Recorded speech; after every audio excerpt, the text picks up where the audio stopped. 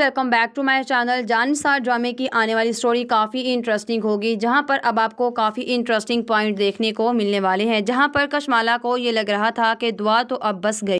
मेरी ज़िंदगी में अब बस नो शेरवान ही रहेगा और नो शेरवान की ज़िंदगी में मैं, क्योंकि मैं जानती हूँ नो शेरवान की ज़िंदगी में अब दुआ जब चली जाएगी तो नो शेरवान मुझे कबूल कर ही लेगा। माला को ऐसा लग रहा था कि दुआ की वजह से नो शेरवान उसे कबूल नहीं कर पा रहा, लेकिन उसको बेवकूफ़ को अभी इतनी भी समझ नहीं है कि नो शेरवान उसे अपनी बावज ही करार करता है। दूसरी तरफ़ अभी नो शेरवान को डॉक्टर्स कुछ बता भी नहीं रहे। अम्मा साई और बाबा साई बार बार नो शेरवान और जाफ़र को कॉल पे कॉल कर रहे हैं, क्योंकि वो काफ़ी ज़्यादा दुआ को लेकर परेशान है। बाबा साई और अम्मा साई आपस में कहते हैं कि अगर दुआ को कुछ हो गया तो न जाने इस घर में कौन सी क्यामत बर्पा हो जाएगी। ये बात हम बहुत अच्छे तरीके से जानते हैं कि हमारा बेटा हमसे हमेशा हमेशा के लिए दूर हो जाएगा। हम अपने बेटे को अपने से दूर कभी भी नहीं करना चाहते, लेकिन कशमाला ने जो चाल आज चली है, शायद के इसके लिए नाकबले माफ़ी हो। बाबा साई, अम्मा साई से कहते हैं कि दुआ करो कि बहू खैरियत से घर वापस आ जाए। अगर कुछ भी ऐसा वैसा हो गया तो न जाने, हम खुद भी अपने बेटे के सामने नज़रें उठाने के काबिल नहीं रहेंगे। ये बात सुनकर अम्मा साई कहती हैं कि आखिर मैं क्या करूँ? मुझे तो खुद समझ नहीं आ रहा। कशमाला को समझाया भी था कि, कशमाला,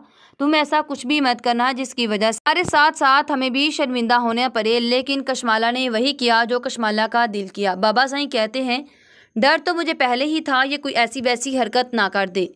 लेकिन मुझे इस बात का आइडिया बिल्कुल भी नहीं था कि ये अब दुआ पर जानलेवा हमला कर देगी। ये बात सुनकर अम्मा सही कहती हैं। पहले ही समझ लेना चाहिए था। जब दुआ और नौशेरवान की शादी हुई थी तो उस दिन भी तो इसने हमला करवा ही दिया था। तो अब कैसे वो बर्दाश्त कर सकती थी दुआ की बीवी दुआ को इस घर में? ये बात सुनकर अम्मा साई कहती हैं कि एक तो नौशेरवान और जाफ़र कॉल भी रिसीव नहीं कर रहे। वहाँ पर कोई परेशानी तो नहीं है। बाबा सही कहते हैं कि मैंने भी बहुत दफ़ा कॉल्स की हैं, लेकिन मेरी कॉल रिसीव नहीं कर रहे।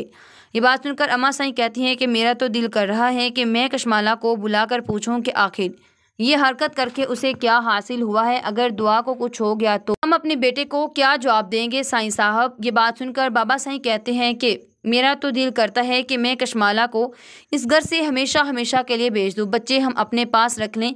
कशमाला इस काबिल नहीं है कि कशमाला को इस हवेली में रखा जाए। ये बात सुनकर बाबा साईं की, तभी अम्मा साईं कहती हैं कि मैं एक मुलाजमा को बेच कर यहाँ पर कुशमाला को बुलाती हूँ। यकीनन मैं उससे बात ही अब करना चाहती हूँ कि आखिर वो क्या चाहती है, इस घर में रहने के उसके इरादे भी थे या नहीं। बाबा सही कहते हैं कि बुला लीजिए, लेकिन उसे यहाँ पर बुलाने का कोई फ़ायदा भी नहीं होगा।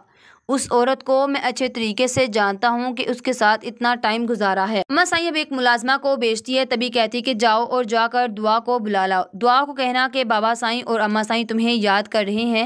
ये बात सुनकर तभी मुलाजमा जैसे ही अब बुलाने के लिए जाती है कशमाला को, तभी कशमाला कहती है कि आखिर क्या बात है? कोई ना कोई वजह तो होगी कि बाबा साई ने मुझे यहाँ पर इस तरह से बुलाया है। तभी मुलाजमा कहते हैं कि हो सकता है कि आज दो कुछ दुआ बीबी के साथ हुआ, उनके बारे में बात करना चाहते हैं। ये बात सुनकर कशमाला कहती, क्या हुआ है दुआ को?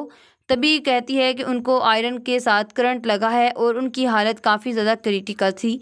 साइंस साहब उनको हॉस्पिटल लेकर जा चुके हैं। लेकिन इस बात का तो कशमाला को अभी पता भी नहीं होता कि दुआ हॉस्पिटल में अभी कशमाला कहती है कि अच्छा तुम सच कह रही हो। ये बात सुनकर तभी मुलाजमा कहती है कि, जी बीबी साई, मेरी क्या मजाल कि मैं आपके सामने झूठ भी बोलूँ? कशमाला ये सुनने के बाद अब काफ़ी ज़्यादा खुश हो जाती है। तभी कहती है कि, लगता है कि कुछ ना कुछ दुआ के साथ ज़रूर हो गया है, जिसकी वजह से बाबा साई और अम्मा साई मुझे अपने पास बुला रहे हैं।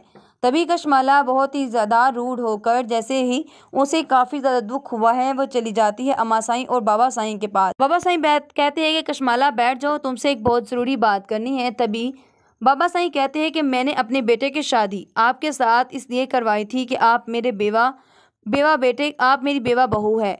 इसीलिए नहीं करवाई थी कि आप हमें हमारे बेटे की नज़रों से ही गिरा दे। तभी कशमाला दिल ही दिल में सोचती है कि लगता है, वाकई कशमाला कह, कशमाला की तभी सोचते हैं कि लगता है कशमाला कि तुम्हारा खेला गया खेल अब मुकम्मल होने को आया है।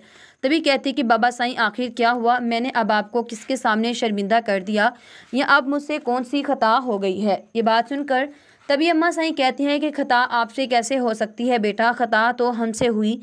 जो तुमने दोबारा इस घर में रख लिया, नो शेरवान के साथ तुम्हारी शादी करवा के। हमारा बेटा हमसे बहुत दूर चला गया था। हम बहुत परेशान थे, लेकिन जब से दुआ के साथ उनकी शादी हुई थी तो हम खुश थे कि हमारा बेटा बहुत खुश है, अपनी ज़िंदगी की तरफ़ लूट आया है। हमारा बेटा मुस्कुराना फिर से सीख गया था। लेकिन शायद आपसे ये सब कुछ बर्दाश्त नहीं हो पाया, और आपने ये इतनी घटिया हरकत कर दी। ये बात सुनकर तभी कशमाला कहती है कि क्या हो गया अमा साईं? मैंने तो ऐसा कुछ भी नहीं किया, और आप मुझे इस तरह से क्यों बोल रही हैं? अमा साईं कहती है कि जो कुछ भी तुमने किया वो तो तुम अच्छी तरह से जानती हो ये बात सुनकर, तभी कशमाला कहती है कि नहीं अमा साई, मुझे तो कुछ भी नहीं पता। तभी अम्मा सही कहती है कि आखिर दुआ के साथ इतना बुरा करने की तुम्हें क्या ज़रूरत थी? जब तुम अच्छी तरह से जानते हो कि तुम्हारे साईं साहब अपनी बीवी से कितनी मोहब्बत करते हैं, ये बात सुनकर तभी कशमाला कहती है कि मैंने ऐसा क्या कर दिया? मैंने दुआ के साथ कुछ नहीं किया, आपको ज़रूर कोई गलत फहमी हुई है, ये बात सुनकर अम्मा सही कहती है कि नहीं। हमें गलत फहमी नहीं हुई, लेकिन हम सच्चाई बहुत अच्छे तरीके से जानते हैं, क्योंकि कश्मला आपके अलावा ये काम इस घर में कोई और कर ही नहीं सकता।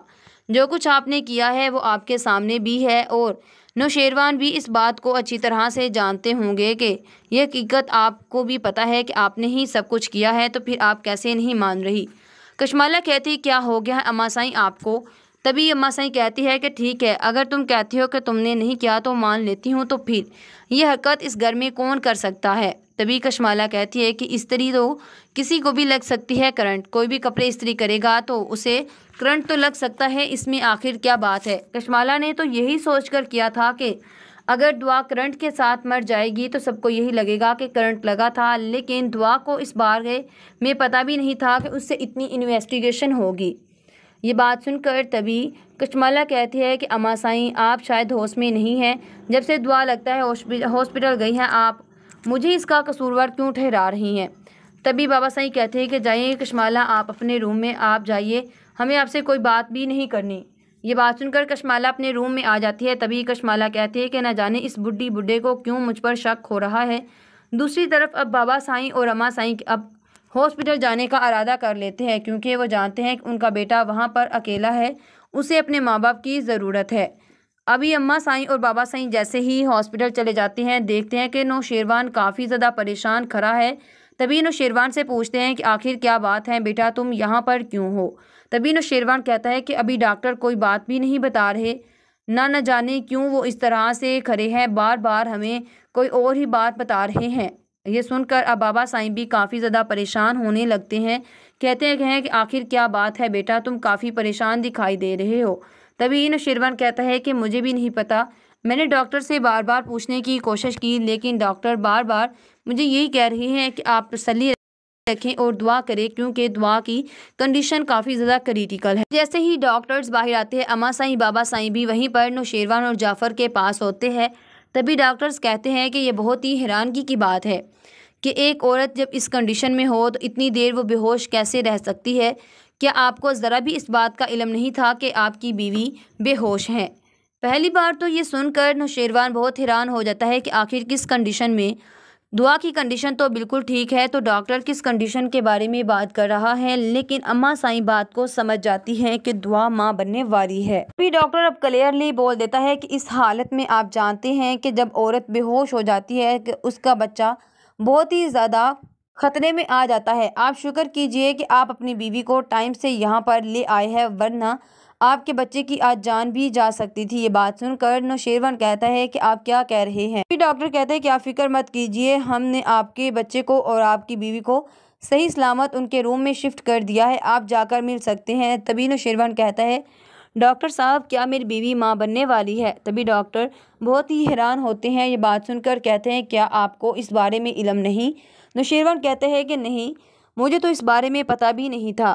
तभी डॉक्टर कहता है कि अच्छा फिर आप शुक्र कीजिए कि अगर आपको नहीं पता था तो आपकी बीवी माँ बनने वाली है, उनका बच्चा भी सही सलामत है। नौशेरवान की खुशी की तो कोई इंतहा ही नहीं होती। नौशेरवान बहुत ही खुश होता है। यहाँ तक कि अम्मा साईं और बाबा साईं भी बहुत खुश दिखाई देते हैं। तभी कहते हैं कि कभी सोचा भी नहीं था कि यूँ अचानक से इतनी बड़ी खुशखबरी भी सुनने को मिल जाएगी। बाबा साईं कहते हैं कि मेरे तो कान खुशखबरी सुनने के लिए तरस गए थे। इतनी बड़ी दुआ ने हमें खुशखबरी सुनाई है। अम्मा सही कहते हैं कि, जाओ न शेरवन, जाकर बेटा तुम दहू बहू से मिल लो, उसके बाद हम भी बहू से मिल लेंगे। ये बात सुनकर तभी न शेरवान कहता है कि, नहीं, अम्मा सही आप चाहें और जाकर आप दुआ से मिल लें, आप उनकी बड़ी हैं। आप मिलेंगी तो दुआ को और भी ज़्यादा अच्छा लगेगा। बाबा साईं और अम्मा साईं अब जैसे ही दुआ से मिलने के लिए चले जाते हैं, दुआ बहुत खुश होती है। दुआ कहते हैं कि बाबा साईं, आपकी तबीयत ठीक नहीं थी, आपको यूँ अचानक यहाँ पर नहीं आना चाहिए था। बाबा साईं कहते हैं और अम्मा साईं कहते हैं कि, बेटा, तुमने हमें इतनी बड़ी गुड न्यूज़ सुना दी तो क्या हम तुम्हारा पता लेने के लिए हॉस्पिटल भी नहीं आ सकते? दुआ कहते हैं कि, नहीं बाबा, ऐसी बात नहीं है। बाबा साईं, आप जानते हैं कि आपकी तबीयत कितनी ज़्यादा ख़राब रहती है। इसलिए मैं चाहती थी कि आप घर पर ही रहते, हम बहुत ही जल्द घर पर भी तो आने वाले थे। ये बात सुनकर बाबा साईं कहते हैं कि, नहीं बेटा, मुझसे रहा नहीं गया।